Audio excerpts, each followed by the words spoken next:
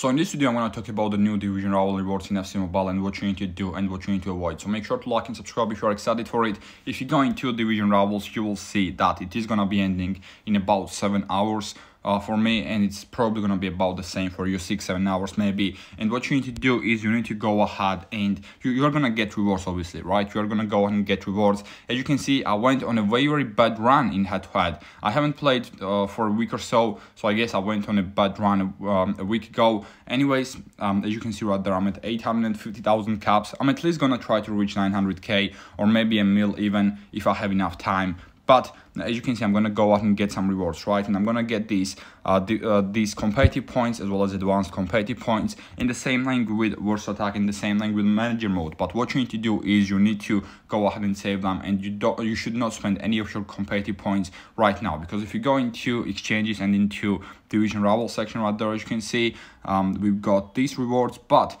these rewards are gonna be updated. These ones expire in four days. It does say right there on every single one of these rewards that these ones are gonna expire in four days and uh, we are we're likely gonna get uh, update uh, some updated rewards and we're likely gonna get better rewards than the, uh, than what it is right now. So what i would suggest you to do is just save every single one of your competitive points. Don't spend any of your uh, any of your points and just wait uh, for about four days. And in uh, in four days, you're gonna get updated rewards. If they change, it's obviously great. If they don't change, then you can open uh, the same rewards. But they should change, right? They should definitely change because every single month uh, these rewards have been changing, and these ones expire in about four uh, in about four days right now. So yeah, this is what you need to do. What I'm gonna do though is I'm gonna go ahead and spend 1,000 of my competitive points to get 2,500 gems. I always say that getting gems for competitive points is definitely worth it. Other than that, I'm not gonna spend any of my competitive points. I'm gonna get quite a few, I think, uh, this uh, this month, just because I did grind manager mode as well. I never even played manager mode before. Uh, before this season but now I did grind it and I'm gonna get let's see how many 3000 competitive points from manager mode alone. I'm gonna get some from uh, VS Attack as well. I'm not playing VS Attack either as you can see. Um, but I am gonna get 500 I'm gonna try to reach maybe world class one in VS Attack as well if I if I have enough time. But either way, I'm, I'm not gonna spend any of my competitive points as I said because it is definitely not worth it. You're gonna be able to get a lot better rewards um, later on in about four days, or if you don't, then you're gonna get same rewards, and there is a chance for you to get better rewards. Either way, I'm gonna go ahead and open some of the exchange packs now because they have been updated. We're gonna do one bust, and let me know down in the comment section if you complete this one busting card, and if you did, do you like him or not? Do you want me to complete him or not? Because I don't need the 94 overall card. Let's be honest, I don't need the 94 overall card. I've got Van Persie. I don't need to change Van Persie, Even though he's great in game, he's just a 93 base overall card. I do have 95 and 94s that are um, that are untradeable as well. But yeah, I might go ahead and get some play, uh, get some striker from the market. Maybe I don't need to change Gullit as well because he's 93 base and Jairzinho and some of the other cards. Frimpong definitely he's a 92 overall card as base. But either way, let me go ahead and open some exchange packs now. First, we're gonna open this 80 to 97 overall player packs. Uh, that is uh, the same for everyone.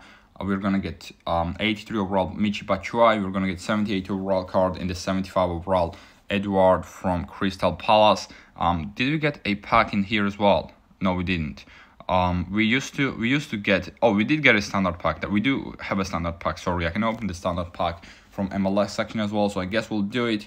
We're gonna get an 81 overall Guendouzi and we've got some silver cards. Other than that um i do i do need to complete some um, most of those um mls exchanges right to get those extra packs as well. I do need to complete this but right now i'll have to use I'll have to use all 82 overall cards. And I don't need 82 overall cards for other exchanges so I'm not gonna do them right now but later on I am definitely gonna do them I'll go 14 days still to go for this one so I'm, I'm gonna be doing that one later on. I'm gonna open this 8297 overall player pack though. We've got 81 overall Djibril Sidibé so not a great pack there either. Let me go into the MLS section as well. Let me go into MLS section because we've got some base packs that I can open obviously right? I haven't opened them for a very very long time so let me go there and let me open this. Oh we can get 91 overall Mascherano and 1000 gems as well. That's great. That's great. We'll take it 1000 gems and 91 overall Mascherano. We'll always take Javier Mascherano, this 91 overall version, and I'm I am quite close to getting this um, this Insigne as well as MLS Mega Pack. Either either way, we're gonna open some of these uh, MLS base pl uh, player packs and hopefully get something good. From the first one, we got an 80 overall that's worth 500,000 coins. That's a lot for an 80 overall. As I said, like every single one of these packs are good value right now, just cause all of these 80 plus, uh, overall players are going for a lot of coins, which is quite decent. Anyways, we're gonna open a third pack. Are we gonna get a walkout from this one? It's highly unlikely. We've got an 83 overall card that's worth 300,000 coins. So that 80 overall was better than this 83. Either way, we're gonna open another one. We got a walkout. Okay, we got a walkout. We have got a walkout. It's gonna be Swedish. It's gonna be a striker, Isaac. It's not Isaac. Uh, I know the guy, but yeah, Gio That's an 89 overall card. I knew him, but I just did not remember his name. 89 overall, 1.5 million coins, will take it 100%. 81 overall Danilo and a silver and a bronze card there as well. We can open two more of these. If you get one more walkout, that's gonna be a dub. We got a we got back-to-back -back walkout, and this one is a Rivals walkout. Um, Uruguayan striker. This is Cavani most likely. No, it's not. It's Merentiel. Cavani does play there as well, but it is Merentiel. We'll take it. 387 again. We'll take it. Not bad at all. Not bad at all. In the last MLS base pack, not three walkouts in a row, which makes sense. These packs aren't really that great. Um, should not be that great either way. And can I open anything interesting there? Probably not right. Um, cannot open MLS Ultra Pack just because I haven't played any of those matches yet. Okay, let me now go into exchanges and I think I can open some packs there as well in Centurions chapter um, and these 85 to 97 overalls. Yesterday, these packs were terrible for me. So hopefully today they're to be quite good. I'm not to put this 80 overall card because it's, he's worth 500,000 coins. I'm to put this Otamendi. And here we go. Let's get let's get somebody great, please. Let's get a 90, 97 overall. Let's go. We got a winter wildcards player. It's to be French. It's to be a central attacking midfielder from Chelsea. This is Nkunku, right? 91 overall. Not bad, not bad not a bad pull right there. Uh, we've got 87 as well, 386s and 85 overall card. As I said, not bad, but like I'm never gonna use him, right? I'm never gonna use him Nkunku, and I can't put him in like 90, 394 overall exchanges and stuff like that because we need tradable cards. So it's not the best one either. Um, let me go back and let me try to open this 88 to 97 overall Centurions player pack just cause I don't want to put um, an 80, a 90 overall card in that exchange, right? If I get an 80, 88 there, it's gonna be good. There we go. I knew it. I knew I was gonna get an 88 or an 89 overall card. So I guess we can go ahead and put him in this exchange again um, instead of Armstrong, and we can put an 85 overall card. I'm gonna put Rivaldo. These are untradeable. And 80 pluses. Not gonna be putting in Dudeks, obviously.